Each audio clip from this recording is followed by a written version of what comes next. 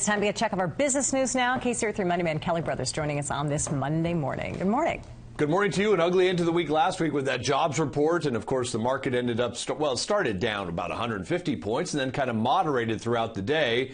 But today we turn our attention to other matters. Let's check the real time numbers this morning as we're often trading. And actually, markets around the world, for the most part, are positive.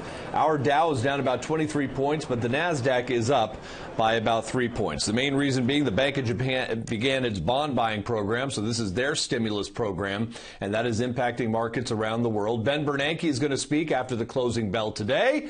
As we know, that can always move markets. It'll have to wait until tomorrow to do so, but it can move markets. And secondly, and, and finally, I should say, today is the beginning of earnings season. This is where the rubber meets the road. How are American companies doing in terms of their profitability? Alcoa will lead the parade as they always do, reporting after the bell. But this gives us some insight into what American companies are seeing in our economy. Guys, back to you. All right, we will see. Thank you, Kelly. All right.